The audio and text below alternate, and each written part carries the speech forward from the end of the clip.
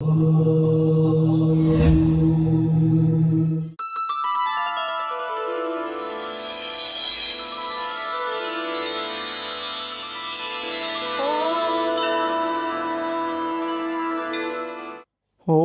श्रीकान्तद्रुहिणोपमन्युतपनस्कन्धेन्द्रनन्द्यातयः प्राचीनो गुरवोऽपि यस्य करुणालेशाद्गता गौरवं तं सर्वादिगुरुं मनोज्ञवपुषं मन्दस्मितालङ्कृतं चिन्मुद्राङ्कितमुद्रापाणिनलिनं चित्ते शिवं कुर्महे नमः सदसे नमः सदसस्पतये நமசகீனாம் புரோகானாம் சக்ஷுஷே நமோதிவே நம பிருத்திவே நமஹ சங்கரா தொலைக்காட்சி நேயர்களுக்கு நமஸ்காரம் லலிதா சகசிரநாமம் சிந்தித்து கொண்டிருக்கிறோம் இருநூற்றி எழுபத்தி ஒன்பதாவது நாமாவளி பகவதி पद्मासना भगवती पद्मनाभसहोदरी பகவதினா தாயார்னு அர்த்தம் பெருமாளுக்கு பகவான்னு ஒரு பேர் பகம் அப்படின்னா அறுவகை குணங்களை பற்றி சொல்கிறது ஷடைஸ்வர்யம்னு பேர் பூர்ணமானவன் பெருமாள் உண்டி தான் பாக்கி எல்லாரும் அபூர்ண வஸ்து. பூர்ணமத பூர்ணமித பூர்ணாத் பூர்ணமசியத்தை அப்படின்னு வேதத்தில் ஒரு வாக்கியம் இருக்குது அது ஒரு கணிதம் மாதிரி. ஒரு பூஜ்ஜியத்தோட எந்த ஒரு பொருளை சேர்த்தாலும் அது குறையறதில்லை நிகறதில்லை. ஒரு வழக்கு மாதிரி. ஒரு வழக்குலேருந்து இன்னொரு வழக்கை ஏற்றினா ஏற்றப்பட்ட வழக்கு குறையறதில்ல. தான் பூர்ணமாக இருக்குது அதை எடுத்தால் குறையறதில்ல. சேர்த்தா அதிகமாகறதில்ல அது எப்பொழுதுமாவே தன்னிறைவானதாகவே இருக்குது அந்த மாதிரி பூர்ண பண்பு. முதல்ல சொன்னது பக. அந்த சொல்லுக்கு உலகியல் செல்வம் எல்லாத்தையும் குறிக்கும். இப்போ சொல்கிற பகவதி அப்படின்னா ஆத்ம சௌக்கியத்தை தரக்கூடிய ஆத்ம சௌக்கியத்துக்கும் பகவதின்னு தான் பேர். பெருமாளுக்கு பகவான் பேர். அவனாகவே இருக்கக்கூடிய சக்தி. பெருமாள் வந்து அம்பாளாகவும் இருக்கார். கோபேச்சகாலி சமதேது துர்கே போகே பவானி பும்சேதி விஷ்ணுன்னு சொல்வார். சாக்ஷாத் அம்பாள் தான் விஷ்ணு விஷ்ணு தான் அம்பாள்.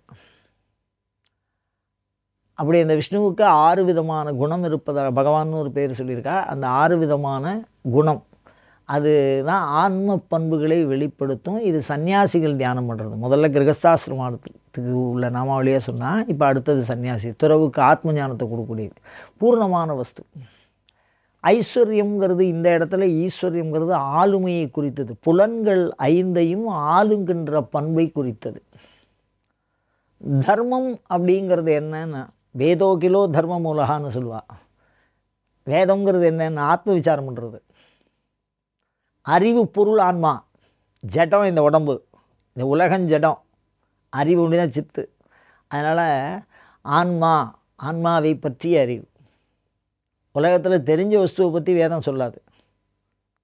எப்பொழுதுமே சந்தேகமாக புரிஞ்சிக்கவே முடியாதபடி இருக்கக்கூடிய நம் அறிவினாலும் மனதாலும் வாக்கிற்கும் எட்டாத பண்பை அது விளக்கி கூறுகிற பண்புடையது. இறைவனின் மூச்சை போன்றது. அப்படிப்பட்ட அந்த வேதம் ஆன்மாவை பற்றி பேசுகிறது. அதனால் ஆத்ம ஞானம் புகழ் அப்படின்னு இதுக்கு ஒரு பேர் ஒரு ஒரு விஷயம் இருக்குது புகழ் என்னென்னா போற்றி புகழப்படுவர்கள் இது வந்து இகழுதல் அப்படிங்கிறதுக்கு நேர் விருத்தம் இந்த புகழுங்கிறது.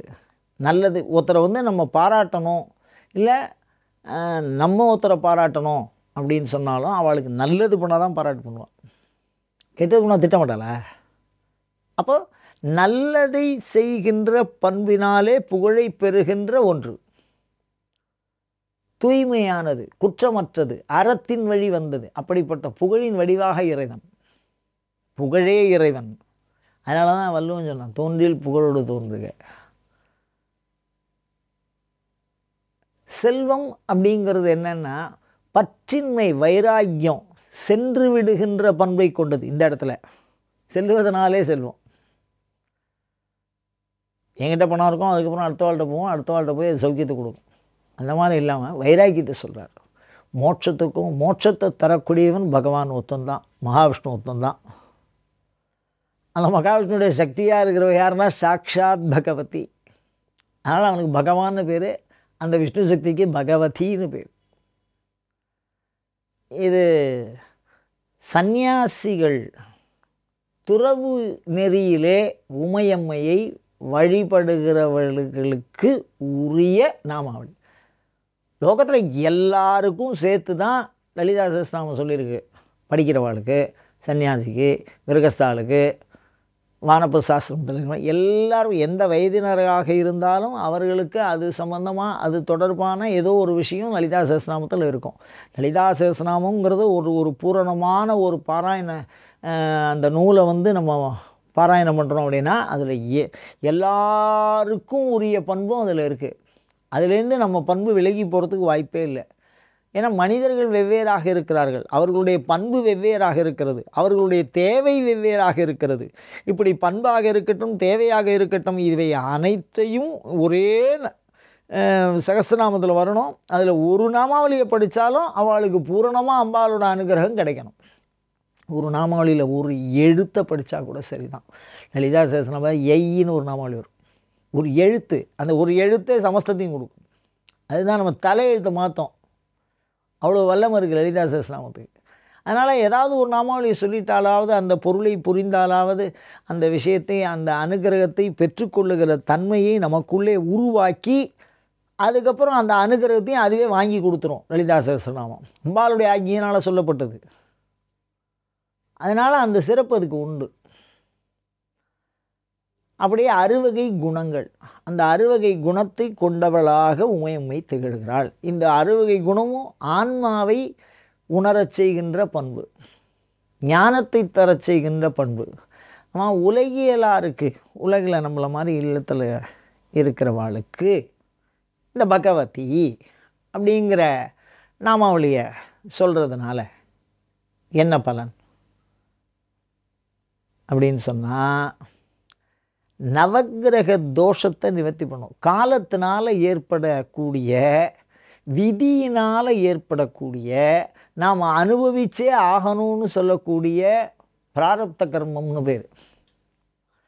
அப்படிப்பட்ட தீராவினைன்னு சொல்கிறோம் அதெல்லாம் காசிக்கு போனால் அழியும்பா அந்த மாதிரி இந்த நாமாவளியை சொன்னால் சன்னியாசிக்குரியது இருந்தாலும் இல்லறத்தார்கள் இதை சொன்னால் தீராத பிரச்சனைகள் நெடுநாளைய பிரச்சனைகள் விதியினால் ஏற்பட்டது அப்படின்னு சொல்லக்கூடிய பிரச்சனை இருக்கும் இல்லையா? அதுலேயே நமக்கு ஒரு விடுதலை வந்துடும் அந்த பிரச்சனையை அது நிறைவேற்றி கொடுக்கும்.